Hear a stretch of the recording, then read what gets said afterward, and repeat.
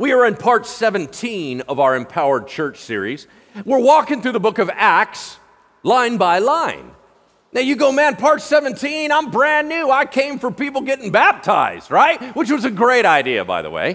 But I'm going to catch you up to speed. Today's message is entitled The Power of a Transformed Life. And I just want to share a couple thoughts before I give you that fill in the blank.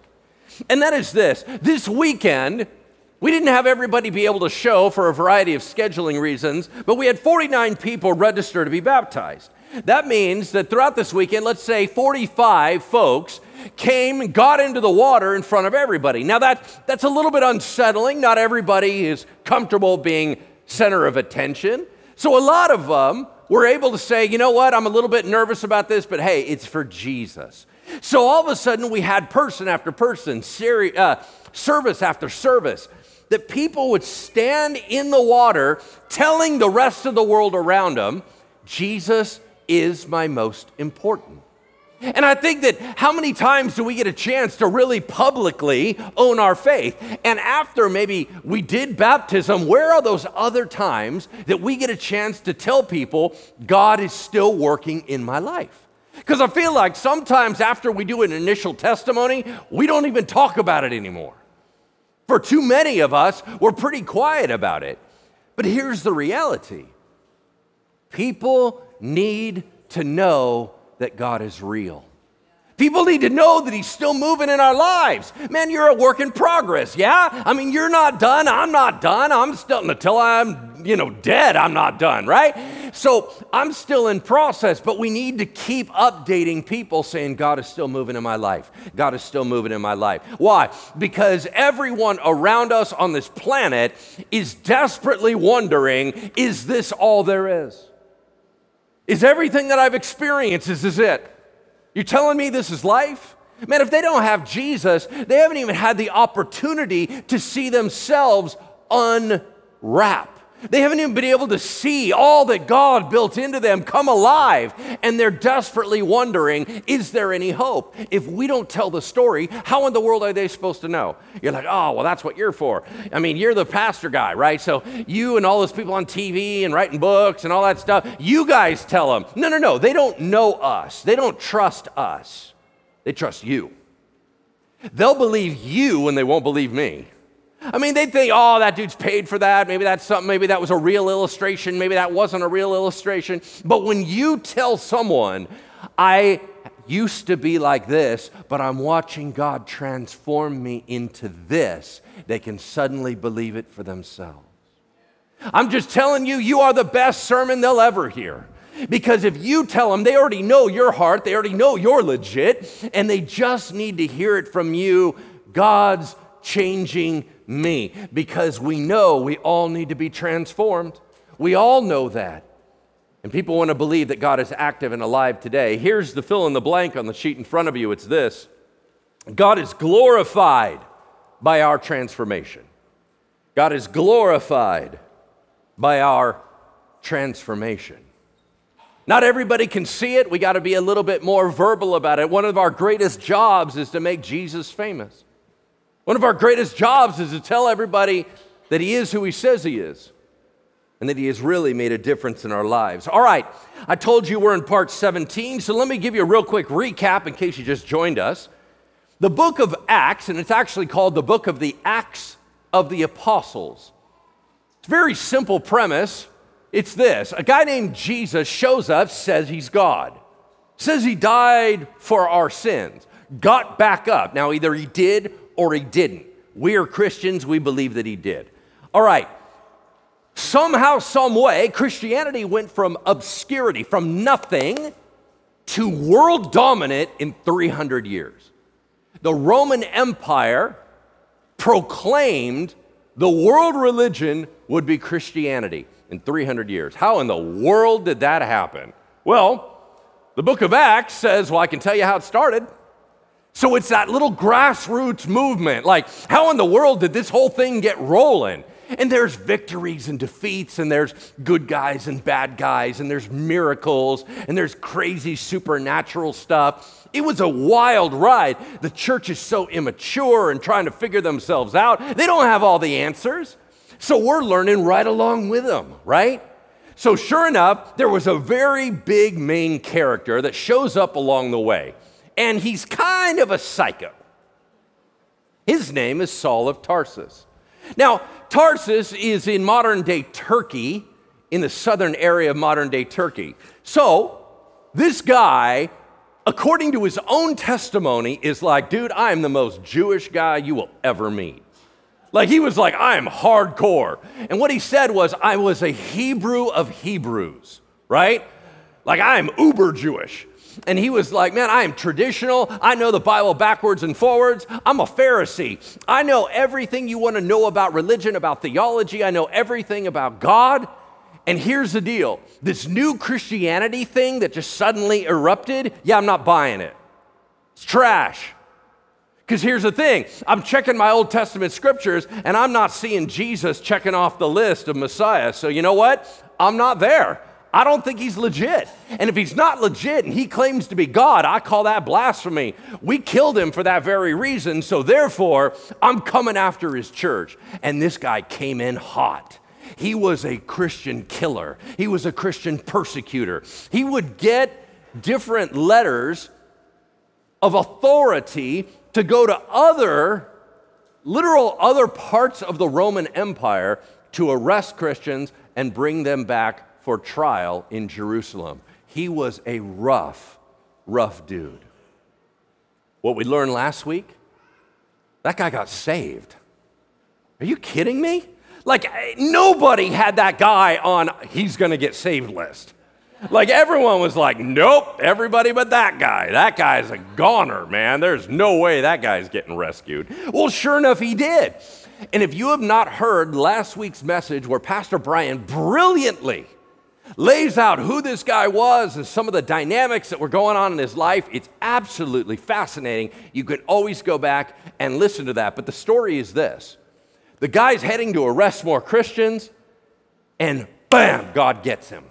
He is on the road to Damascus. A bright light hits, blinds him, gets his attention.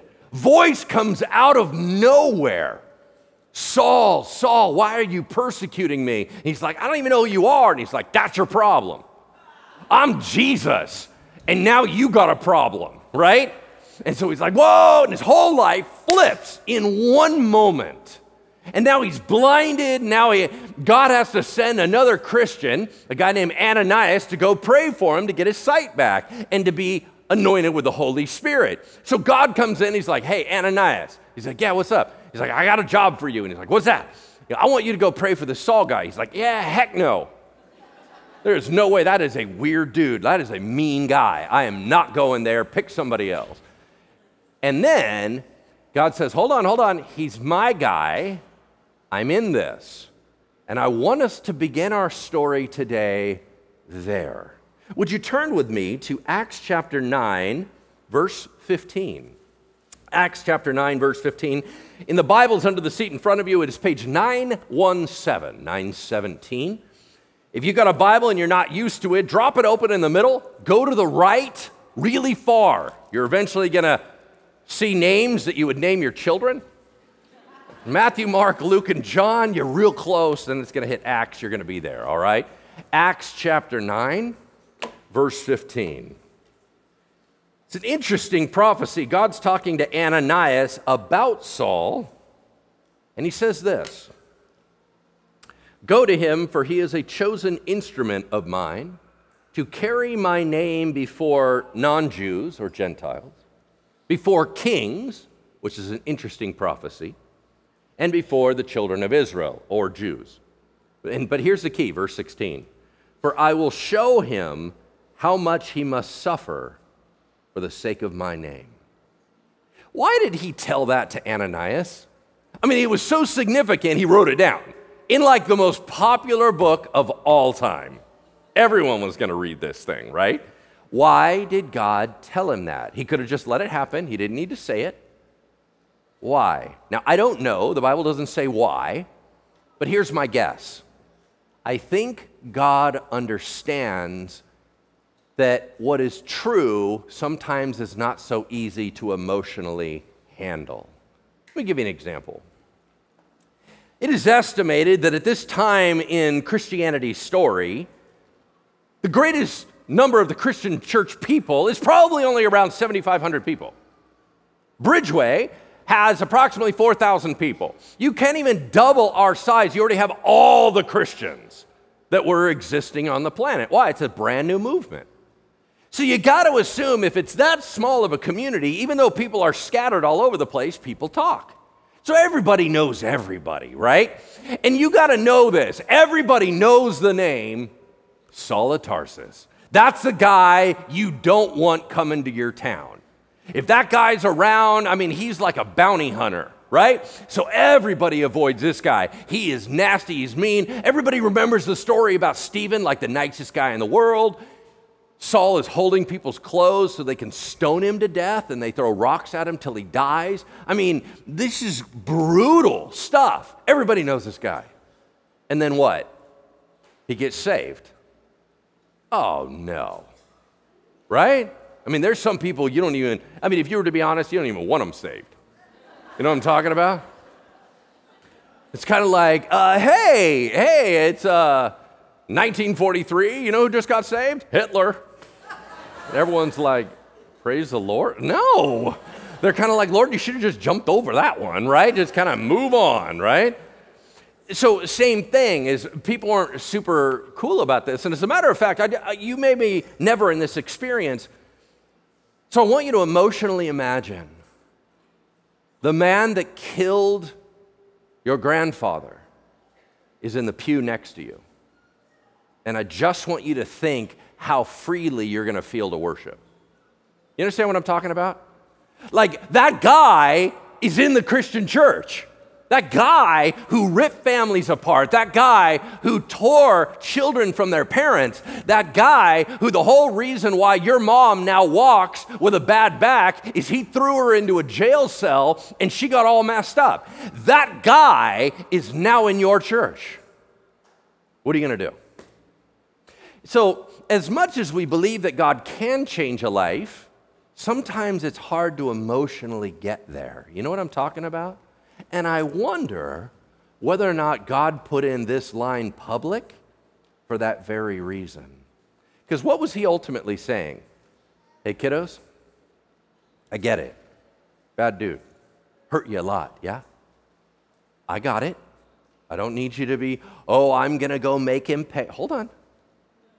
I got it. This guy, by the time I get done with this guy, he will suffer so much for my name, you'll be praying for him. You're like, I'll never do. Okay, hold on. Do you guys remember at a later date, he writes a letter and recounts how many bad things happened to him? Do you guys remember this?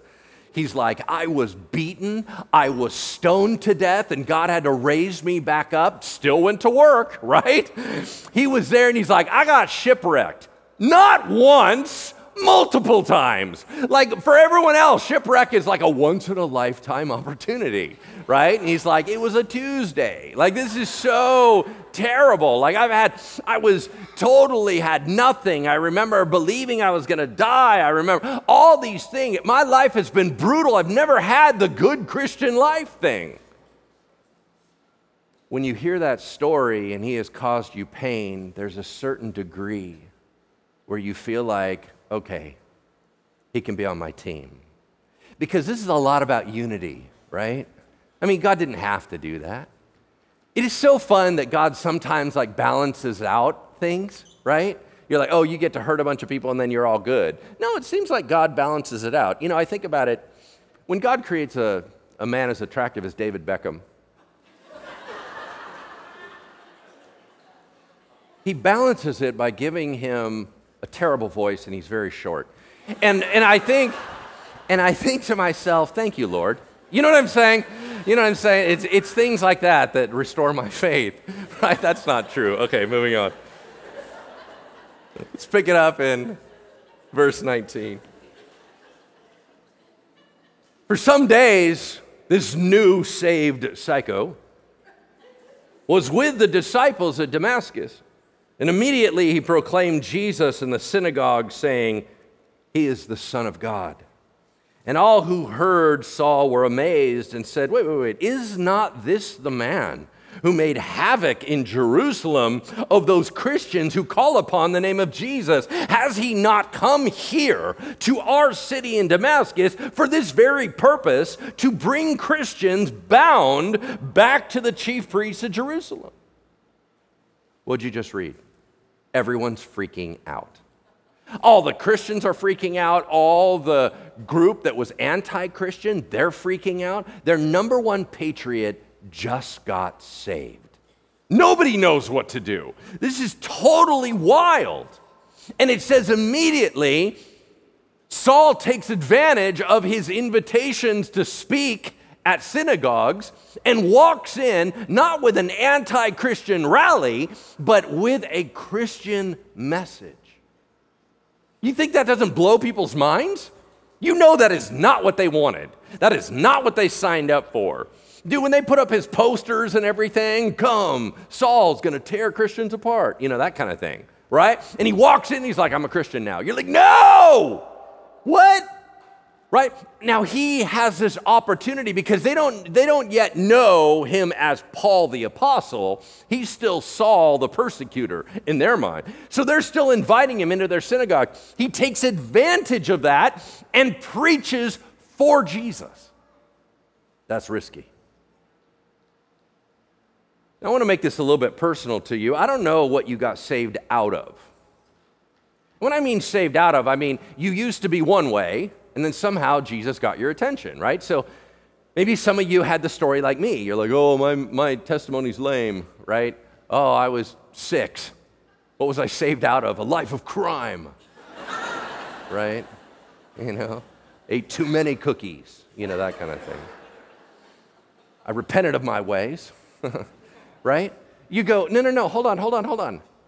That story's beautiful because God has been transforming me all my life, and that might be your story. It is the very same thing you've been praying over your children since they were in your womb.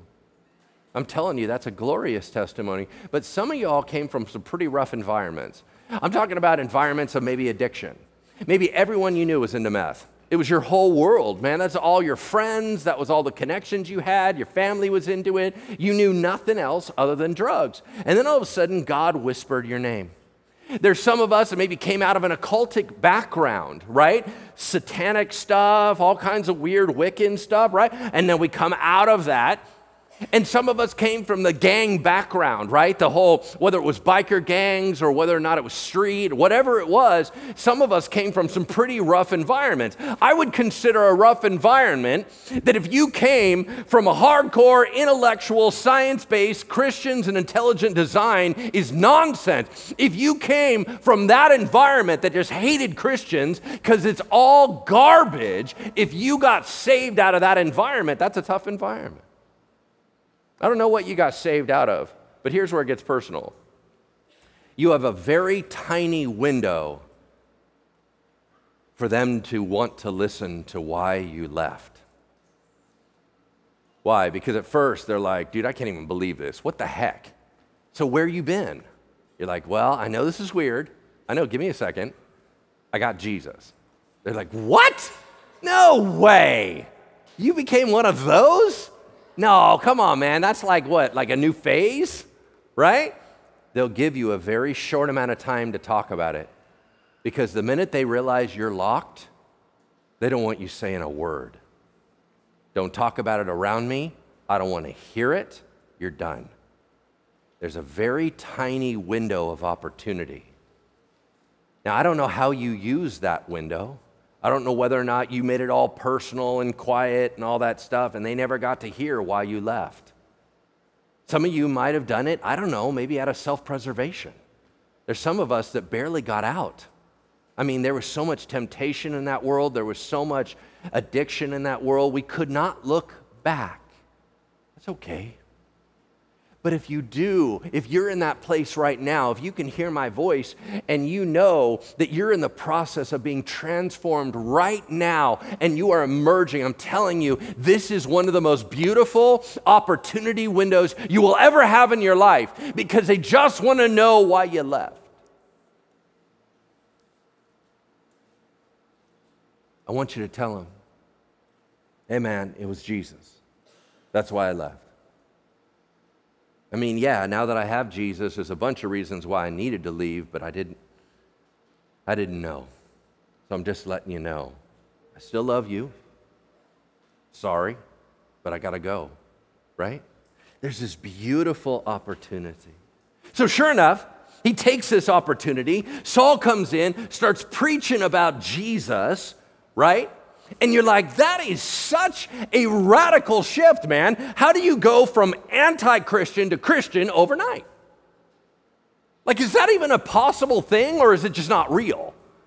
I mean, do people really flip flop one way or another that fast? Actually, they do.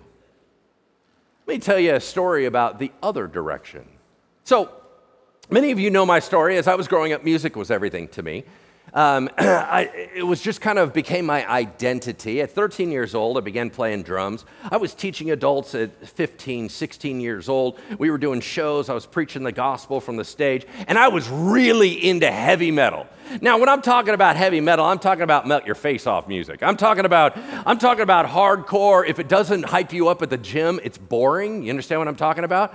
I'm talking about intense Metallica and Slayer and Slipknot, all these things. You know, like hardcore music. And so I had hair down to here. We're going in bars and clubs. We're preaching about Jesus and all that stuff, right? And it was like my whole world of my life. Well, when you're in the Christian metal scene in the late 80s, it's not like it was a huge world. I mean, you kind of knew everybody, right? You were kind of like, oh, I know that band, or you know things about them. You'd read up on each other, stuff like that. So there was a band in Southern California that was uh, as evangelistic as we were. Very, very out loud. All their lyrics were so hardcore. Now, once again, uh, th- they would talk about Jesus, but the music sounded like everybody else's music, right? And so there was a band named Vengeance Rising. And the lead singer was in ministry. His name was Roger Martinez. So we knew about him. We'd go to their gigs and they knew about us, stuff like that. Well, sure enough, and, and by the way, do not Google Vengeance Rising. If you play this for your grandmother, she will die instantly.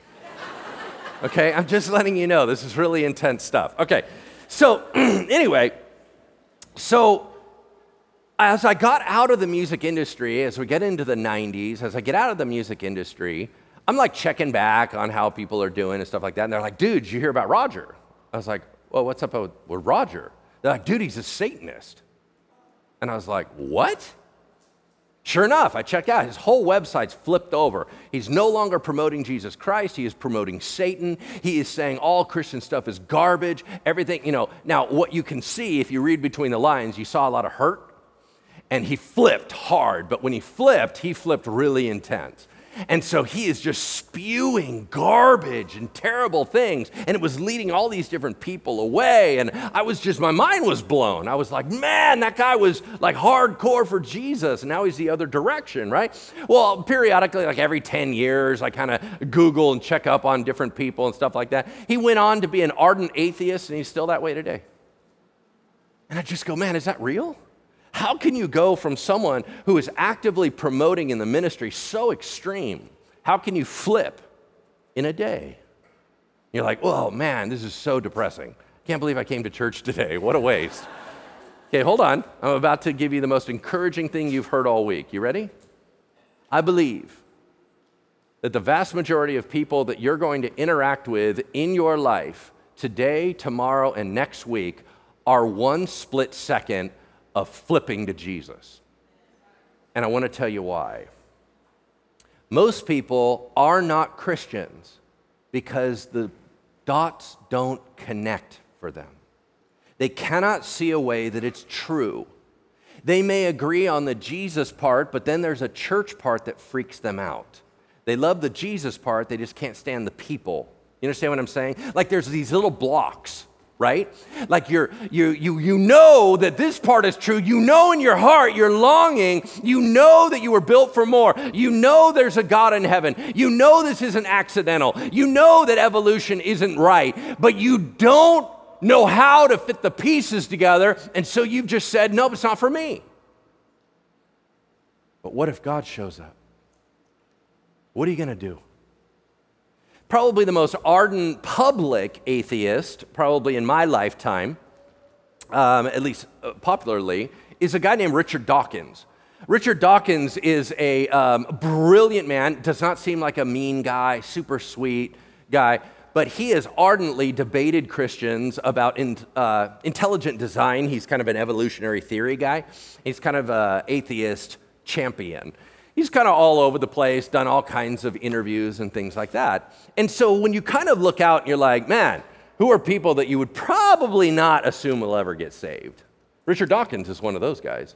But you got to understand, that was Saul of Tarsus. You see, in his world, the reason he was so anti Christian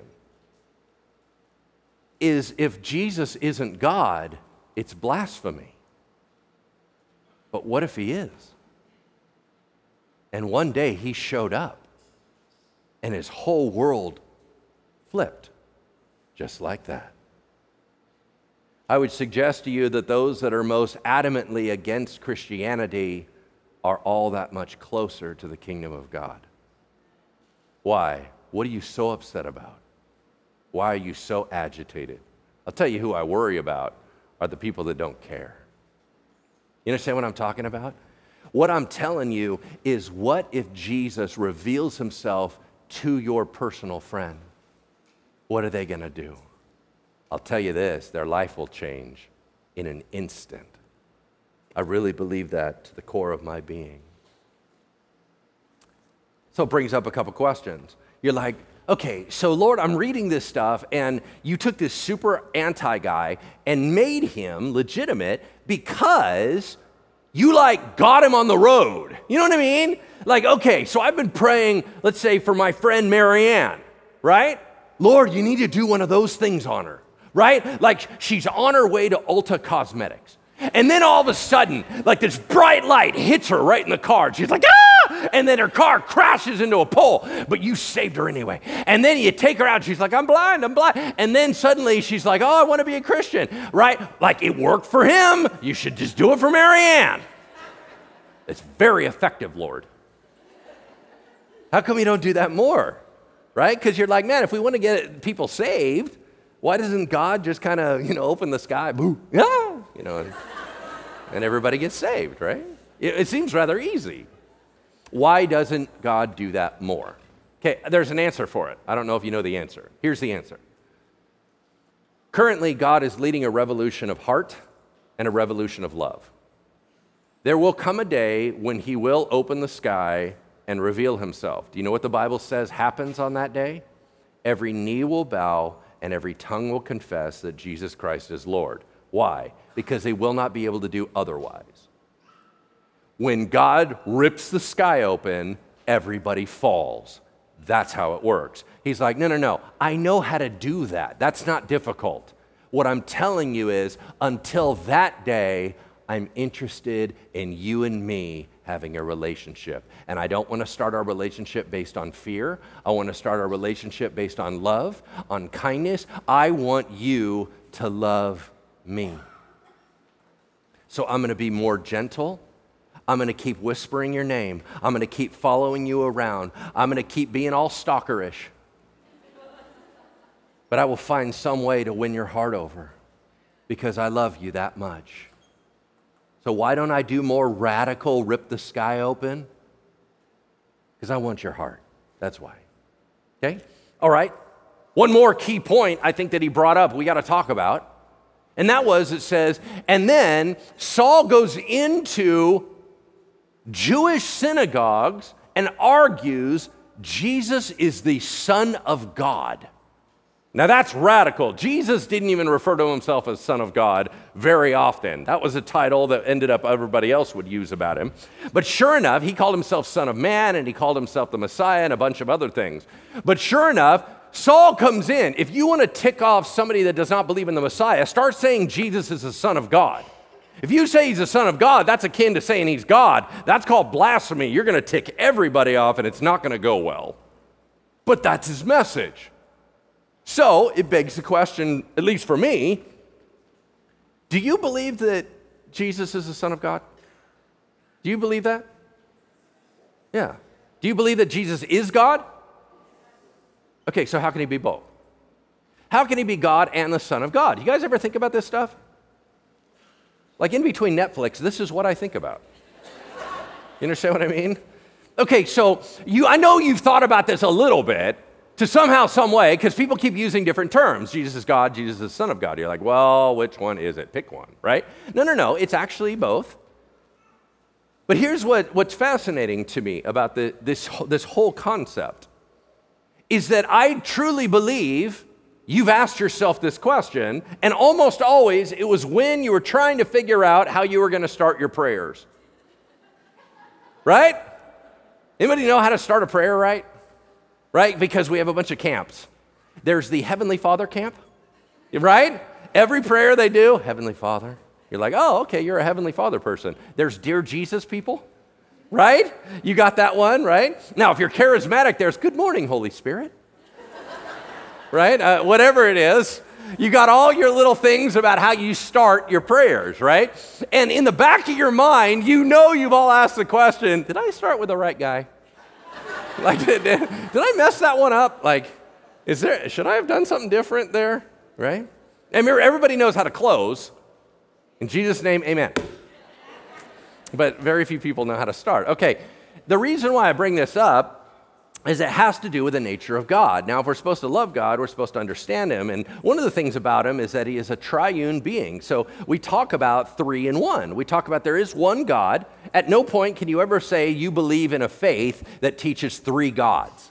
That's not correct. There is one God, and that is that is something that we have to die on that hill. Do You understand what I'm talking about? There's one God. But we talk about the Father, Son, and Holy Spirit. All right, cool. So now we got three persons, and that's what we say. There's three persons of God, but there's one entity of God. How in the world does that happen? Well, the only thing I want to focus on right now is this whole Jesus part. How can he be the Son of God and yet God at the same time? So I'm going to lay this out real quick, as simple as I can, and it's going to bless three of you. Here we go. I hope it's you. Okay. Here we go. Follow my, my line of thinking. Here we go. Let's begin. First thing we need to note God, by definition, is eternal, self existent, dependent on nothing, and that deity is deity. What's my point? There's no baby deity, there's no half deity. You're either deity or you're not deity. Does that make any sense? There's not, you know, because a lot of people are kind of like, well, like when, when, when adults have the Holy Spirit, they get the Holy Spirit, but when kids, they get a little junior version, like a little baby, like gingerbread mankind. You're like, no, they're all, it's, you either get the Holy Spirit or you don't get the Holy Spirit, right? And they're like, yeah, well, maybe there could be God and God light, right? Less filling, less calories, stuff like that, right? Okay, but that's not true. By definition, if it's God, God is everything. So you go, no, it, you can't have half God or it's not God at all. It's like being half pregnant. You understand what I'm saying? Like, that's not a thing. You either are or you're not. Okay, cool. Now, second step, follow me. Whenever God interacts with mankind, there has to be containment. Why? Because non God can't handle all of God. You guys tracking with me? Literally, you can't handle the truth. Yes? Like if you saw all of God, the Bible says no one has ever seen God and lived. In other words, it'll blow your head off. You cannot handle all of God. That's why whenever you see these pictures in the Old Testament of people having visions of the throne room of God, you're like, what did he look like on the throne? They're like, it was this beautiful shimmering green. Yeah, yeah, okay, whatever. What's he look like? It was like shimmering. You're like, well, that was not helpful. You just said the same thing twice, right? No, no, no, what's he look like? You'll realize anytime you interact with God and there is something that you're seeing, it is a containment of the greater. You just can't have all of it. So you got to have a containment. Anytime you're talking about containment, you're going to put a label on it. Well, when Moses was walking in the desert, he had a burning bush incident. Was God in the bush? Yes, he was. Is God only a bush dweller? No? Okay, cool. When God creates, we call him creator. When God is being nurturing, we call him father. When God is invisible and guiding and empowering, we refer to him as the person of the Holy Spirit. In other words, you're going to see portions of God move out and interact with you, but it has to be contained. And because it's not all of him, you can't say it's Yahweh. Yahweh is all of him. So, what are you going to call him? Well, we have a bunch of labels, a bunch of terms. And three of those portions that emerge out of God that can operate distinctively, we call the persons of the Trinity Father, Son, Holy Spirit. In other words, Jesus, if he is God at all, he is God, but we're going to put a label, Son of God, on him when he does a certain role. What's that role? Jesus, the second person of the Trinity, was not the Son of God until the virgin conception. Why? Because he took on a new role, became the Son of God, took on humanity, and moved forward into that role. We were not seeing all of God, we were seeing a portion of God. You guys remember that one of the ways that many people have described the Trinity is they said if you could, if this was cut off right here and you saw three fingers coming up over the top, you would say, wow, this one moves without this one. They're all independent, but are they not yet on the same hand? The persons that emanate out are unique, they interact in different ways, but are they not still God? Of course they are. Jesus is both God and by role and function the Son of God. Amen? All right, cool. Two people understood that. Praise God. Pick it up in verse 22. Meanwhile, but Saul increased all the more in strength and confounded the Jews who lived in Damascus by proving that Jesus was the Messiah. When many days had passed, we find out it was about three years, the Jews plotted to kill him. That happens a lot to him. But their plot became known to Saul. They were watching the gates day and night in order to kill him. But the disciples, his disciples, took him by night and let him down through an opening in the wall, lowering him in a laundry basket. Awesome. Well, that's kind of covert. That's kind of cool, right? Hey, he was going to get killed. You're going to find out lots of people like to kill Saul, right? He, for whatever reason, he ticks everybody off right? He's just kind of very blunt and very straightforward about things, and people don't like his truth. Okay, quick question for you Is it okay to escape persecution? I mean, he did, right? Now, is that wimpy? Is that not trusting in God?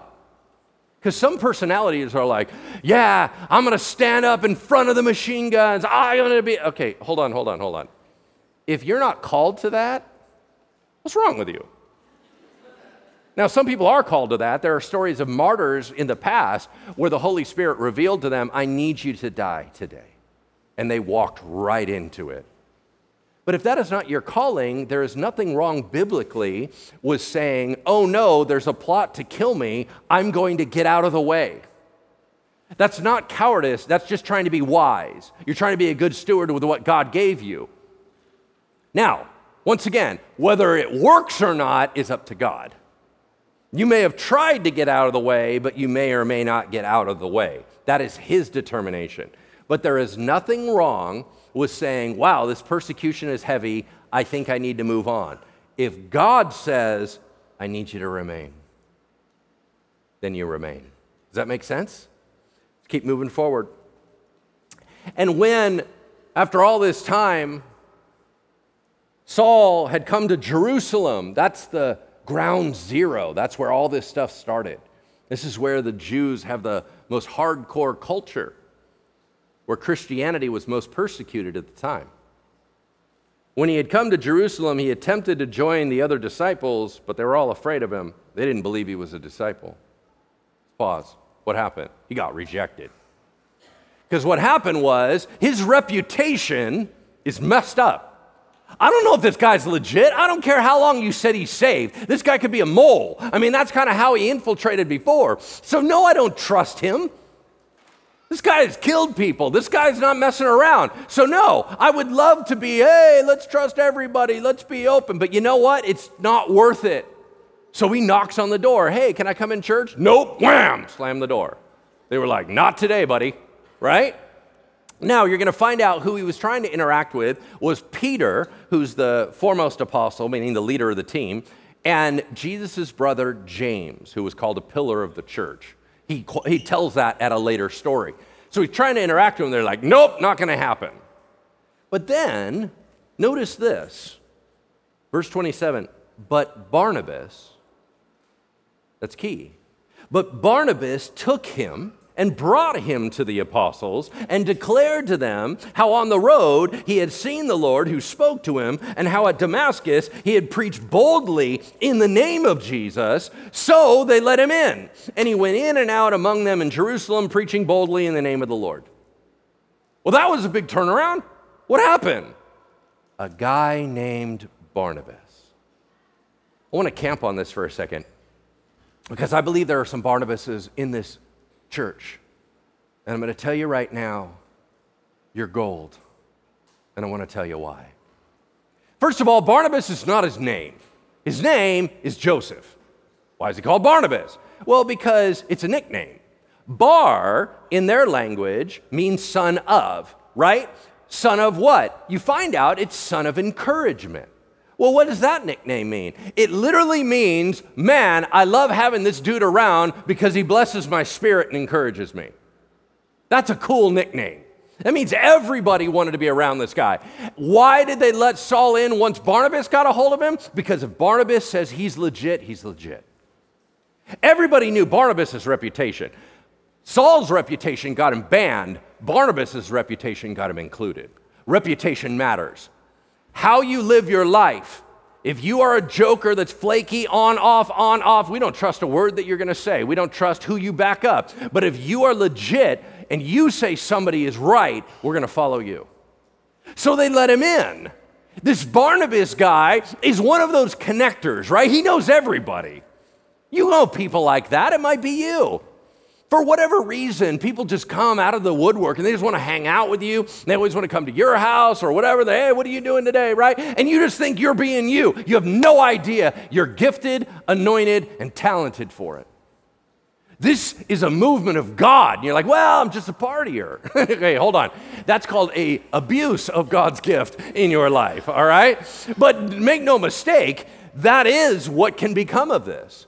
The idea that God would use you to connect people, I don't think you understand that is a calling. I don't think you understand that's an assignment. I want you to start thinking through the lens that Christianity is like a kingdom business and you need to connect the right people with the right people and start getting a little bit more strategic. I think you need to start realizing you are the hub of community. Our church needs more community, and sometimes we need people like you to run a small group because they're the only ones that are going to go to your small group. Why? You're not weird. You understand what I'm talking about? Like, we need people that are connectors, that are so fun to be around. We had a gentleman in this church, his name's Patrick Rowe. He ran our men's ministry for a while. Still does it, right? This guy's legit. And all these dudes want to go and hang out with Patrick Rowe. Just go to his small group. Why? Because he's cool. He's the nicest guy in the world. He's super funny. He's a connector. So people just gravitate towards him. I'm telling you, we got a bunch of those in this church. And I don't think you realize what a big deal you are. Because here's another thing that Barnabas did he was an encourager. The difference between trying to do ministry discouraged and encouraged is a world apart. The encouragers of this church are the reason why people don't quit. I mean, you want to talk about longevity in ministry. Man, I've been here for over 25 years. I got people on my staff that have been here for over a decade and a half. I got people that st- the only reason they are still around is because Barnabas's in this church continue to encourage them, continue to pour back into them, and continue to tell them that it matters. You guys are the reason why we keep going. You're like, oh, well, I was just trying to be nice. I know, but not everybody has that gift. I'm telling you, some people have the gift of being a joy sucker. know what I'm talking about? Might be from the pit. Anyway, that's not important. But if you have a gift of encouragement, if you have a gift that you just think about, man, I want to text that person and just say, hey, what's up? I really appreciate you. If you want to pour life into other people, you guys, that's like gold.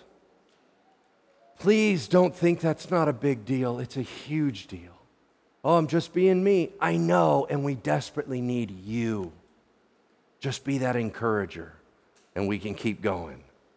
We need you. Pick it up in verse 29. And Saul spoke and disputed against the, the Greek speaking Jews, but they too were seeking to kill him. And when the brothers learned this, they brought him down to the seaport of Caesarea and sent him off back home to Tarsus. So the church throughout all Judea and Galilee and Samaria had peace and was being built up. And walking in the fear of the Lord and in the comfort of the Holy Spirit, it multiplied. Hmm. You guys, why was there suddenly so much peace? You're like, oh, okay, well, one of two things happened, right? Either the main persecutor guy, the psychopath, got saved, that calmed everybody down. Or two, when he got saved, it kind of sent the anti Christian movement into a tailspin because they're like, oh, our big dog's gone, right? What do we do? Who's supposed to rise up now, right? Either way, God flipped the script, saved the main ringleader, and suddenly there was peace. You're like, okay, you're saying like I'm supposed to do something about that. Okay, here we go. You ready to make it personal?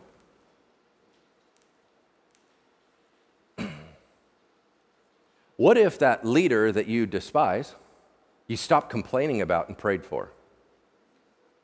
Because I'll tell you this somebody prayed for Saul, and their name is not in the Bible. But there's someone, and I bet you anything, it was a lady a lady, probably later in her years, walked with God, and the minute she started praying for Saul, Jesus went, I'm on it. Let's go. Wham! He heals that guy overnight. Turns a Christian killer into one of the greatest Christian theologians, one of the greatest church planters, one of the greatest evangelists of all time. Here's the deal you can either complain or you can pray. You're probably not going to do both. And I wonder whether or not that one leader you keep thinking is a big deal and seems to be causing all the problems in society, how about they get saved? Because I got to ask you a question do you want them to die or do you want them to get saved? You're like, meh. so I'm going to ask you are you a child of destruction or are you a child of salvation?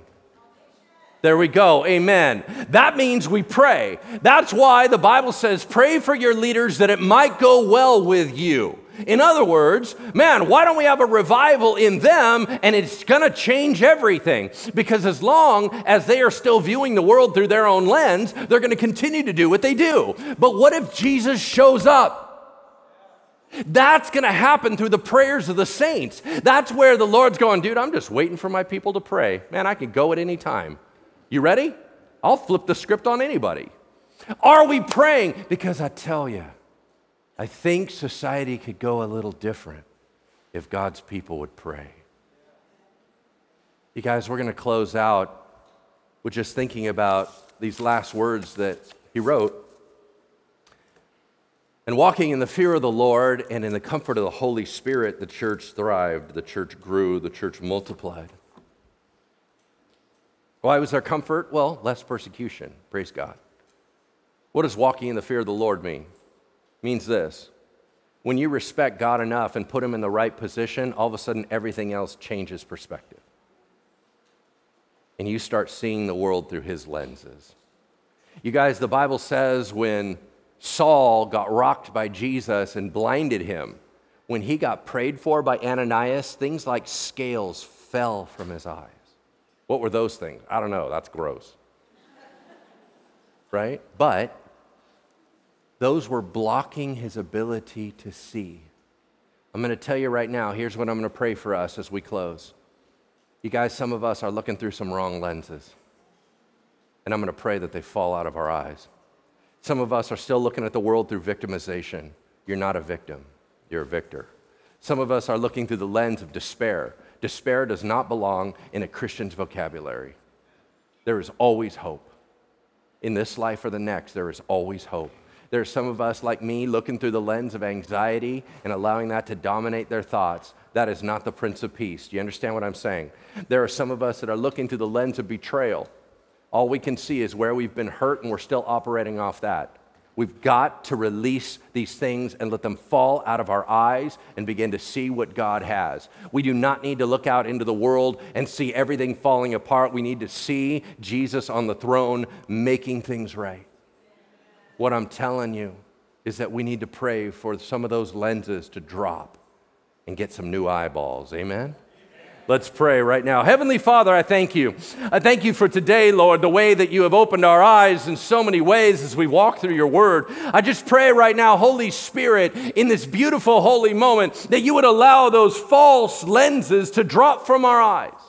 That God, that there's some of us that are still thinking about our past and we're looking through the lens of our past. Lord, in Jesus' name, may those fall and we look only through the future of Jesus Christ. We now say and we renounce that whether or not there has been evil that has distorted our lenses, we pray in the name of Jesus, renewed lenses. We pray renewed perception. We pray renewed perspective. Lord, there's some of us, and we're constantly thinking about that which is wrong, that we look through a worry lens. I come against that in Jesus' name. And I pray, Lord, that we might be able to see you as provider, as protector, as hope giver. I just pray, Lord, that you would begin to change our eyesight all the way across. Anyone being able to hear my voice, that right now would be able to lay their eyeballs down on the altar of God to be able to say, Lord, let me see that in the New Testament, Jesus, you were healing so many blind people as a symbol of saying, I need to let you see through my lenses. God, we just pray for the spiritually blind in Jesus' name to be able to see right here, right now. We pray, Lord, for all of us that are seeing in too limited of a way, that we do not see with spiritual eyes, that we do not see with supernatural lenses. God, would you open up our eyes that we might be able to see the glory of what you're doing around us? And we ask all this in Jesus' Jesus' name, amen.